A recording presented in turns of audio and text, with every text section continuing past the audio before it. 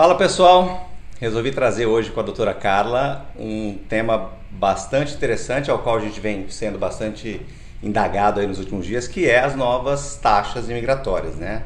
Os valores das taxas sofreram algumas alterações. Uh, esses valores passarão a valer já agora a partir de 2 de outubro, então eu e a doutora Carla vamos falar um pouco dessas taxas para que vocês fiquem aí é, é, cientes desses valores, né, doutora Carla?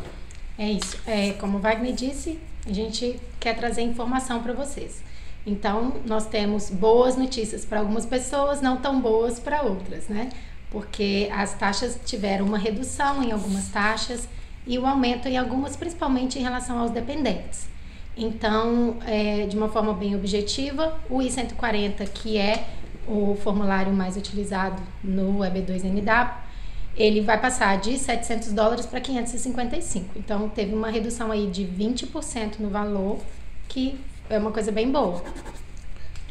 É, o, o I-130, ele passou de 535 para 550, então teve um aumento pequeno, mas teve um aumento aí no valor da taxa. Né? 3%, né, doutora Carla? É. Um pouco.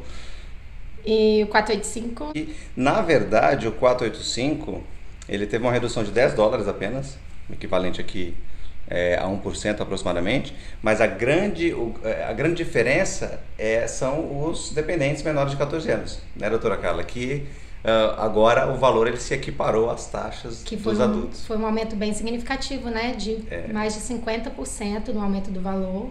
O, antes, os dependentes abaixo de, de 14 anos pagavam 750 dólares, agora eles vão pagar o mesmo valor do aplicante principal, que é valor de 1.130 dólares. É, aqui eu diria, né, doutora Carla, que a, a, foi a mudança mais significativa. Claro, pessoal, aqui nós estamos trazendo os, né, os formulários que nós mais utilizamos aqui. Algum, né, um deles aqui que a gente vai chegar, já já a gente não utiliza tanto, mas ele é muito comum, a gente resolveu trazer. O ponto é, a gente não vai divulgar o valor de todos, mas dentre aqueles mais utilizados, como a doutora Carla bem disse no início do vídeo, o saldo ele foi positivo, que a grande maioria deles, desses que nós utilizamos, caiu. Caiu bastante, exceto realmente para quem está aplicando aí tem filhos menores de 14 anos. filhos menores. Pagava 750, agora vai pagar o, a taxa é do adulto.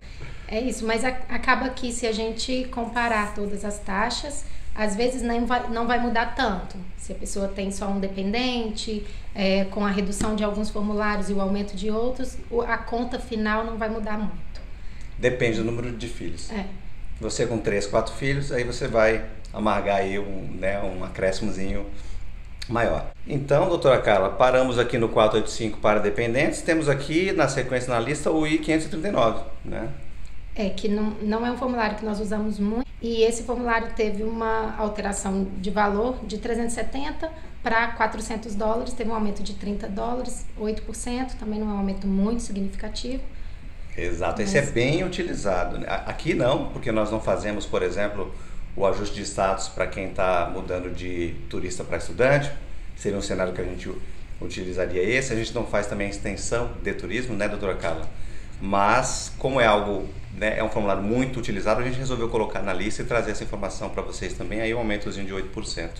Né? Temos um 31 na sequência. O 131, que é o Travel Document, ele passou de 575 para 590 dólares, teve um aumento de 15 dólares, 3%, mais um que aumentou um pouquinho. Uhum. E, por fim, nós temos o 765, que é o do Employment Authorization, que passou de 410 para 550 dólares. Um aumento de 140 dólares. Esse também teve um aumento bem significativo, de é, 34%.